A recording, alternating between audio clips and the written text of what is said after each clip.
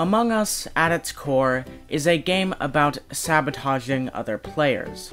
Not only is it the name of one of the game's core mechanics, but it is also the only way for the imposters to win over the crewmates. So, I want to make a one hour level that sort of mirrors this kind of gameplay, where the only real enemy is human nature.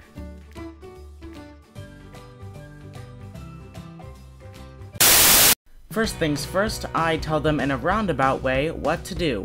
Don't kill each other in a big sign. You think this would be human nature, but you would be surprised. In all seriousness, this is going to be a 4-player multiplayer versus level, and normally the tendency in that is to race everybody and do whatever you can to get ahead, but in this level, it's not gonna work like that. They're gonna have to work together to not accidentally kill everybody. So that is why I have the big yellow sign.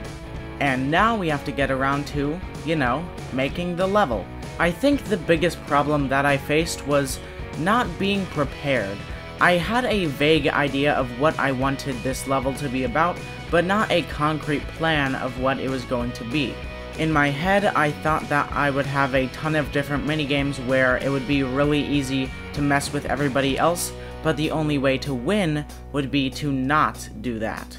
One of these minigame ideas that I had was a key battle where everybody would fight for one key to be the first to go into a key door, but if they kept fighting and took too long to do it, then they would die. So the key would be to stop fighting for first place, but still try to get in as fast as possible. I knew that I could pull off this idea fairly quickly, so I got to work on it right away. If all else failed, at least I would have one little minigame thing. But when I started this one hour level, I knew that there would be one problem that I would have to face the entire time. How do you make something fun in 4 player mode and single player mode? Sometimes when designing a multiplayer level, single player gets thrown to the side, and when you play it single player, it's basically like playing no level at all, because everything you do is to focus that everyone else will be around you. So while something may be hard in multiplayer since everybody is basically trying to stop you, in single player it's a cakewalk. I did not want this to be the fate of my level, so with everything I did, I made sure that it was fun in single player and that it would be fun in multiplayer. How I did this is by using stuff in single player that would still expedite the fun in multiplayer. Now that sentence probably sounded like total nonsense, but here's an example. So in this room, I am putting springs up everywhere so that in single player, it's still hard to get on the platform to progress, but in multiplayer, it'll be even more hectic because not only are you trying to avoid everybody else taking the key, but you're also bouncing around everywhere. That is what I mean by keeping it fun in single player, but exponentially making it more fun in multiplayer at the same time. I made a very simple contraption that when enough time has passed, a wall is broken and thus the autoscroll starts again, and you are trapped in a room that says fail, and your only option is to die and restart the level. And with that, I got to work on the second minigame. My idea for this one was to have a big platform where it would be super easy for everybody to throw everybody else off, but at the end there would be some kind of player check so everybody would have had to survive or else there would be punishment. But I kind of ran into a few problems, you know, it would, how do I, mm, it would, it was just, it was bad. It was just really not fun it was it was just it was a long ride through void and nothing else.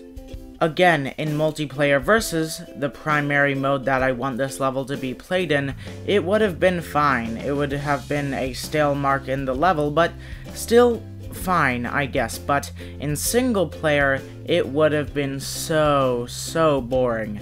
Just waiting and not moving for about 30 seconds. And on top of that, at the end, I would have had to check if all the players were there, but it would also have had to work in single player, and I just did not want to have to deal with that in my tight one hour window. So, as you can see, I was a little bit stuck.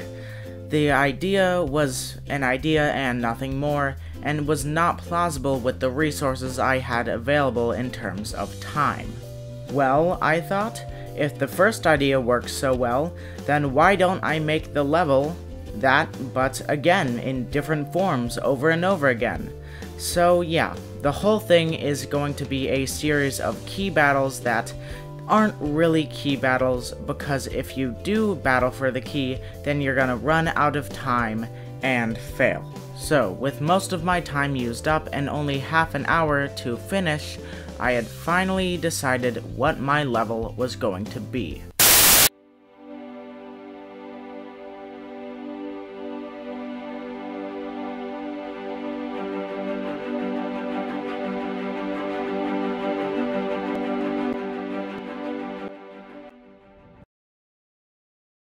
And here is the level all completed and uploaded. This is the sign at the beginning. Don't kill each other. Very clear. Very just spelt out right there for you. And it tells you how to play the game. It warns people how to do this and why they should. Because if they don't, then they are going to fail. Now this is the first room. We've seen this before. So, this is what happens if you don't make it. That's actually a bad example. So let's redo that. And we're back. This time, I will show you a good example of what happens when we die. See up at the top, there is a lava bubble and a frozen coin, so once that goes to the end, the wall breaks, the muncher falls down, and our only option is to go into these spikes and try again. So this time, let's do it correctly and move ahead. So the way you get past this room is by landing on the springs. So this is hard in single player, but it's even harder in multiplayer when everybody's trying to take the key also. Now this is the second room, and it's really tempting for somebody hit to hit this, but then it makes it basically 100 times harder because now you have to deal with the blocks phasing in and out. And if we fail, again we are taken to this area and we have to restart. Bummer. I almost didn't make that one. Okay, but yeah.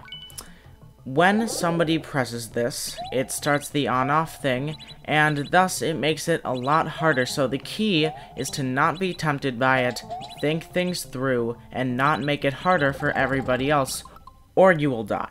And that is not ideal. Okay, so this time let's ignore the on-off blocks and do this normally. So, oh wait, no, I need the I need the key. Okay. So yeah, along with all of that going on, people are still definitely gonna be trying to steal the key from other people. It's bound to happen. The file kinda corrupted while recording the last room, and this was the only way that seemed okay to show it, so... Okay, that is the whole level. It is pretty good, I think, for one hour. I mean, there were a lot of things that would definitely be terrible to deal with in multiplayer versus, so I think I did my job well done.